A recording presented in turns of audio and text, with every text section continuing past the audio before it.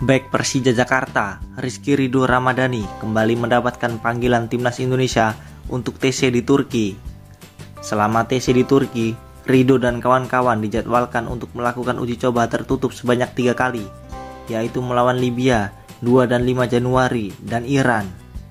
Sebagai pemain yang sudah menjadi langganan timnas, Ridho ingin fokus untuk memberikan segalanya dalam TC sebelum berjuang di ajang paling bergengsi seantero Asia tersebut.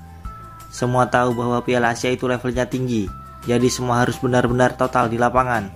Dalam TC pun, saya dan yang lain harus benar-benar fokus setiap harinya agar bisa mengembangkan kemampuan kami, ujar Rido. Pemain kelahiran Surabaya itu menambahkan, walaupun di fase grup D Piala Asia terlihat sulit, dirinya akan memberikan yang terbaik untuk tim nasional Indonesia.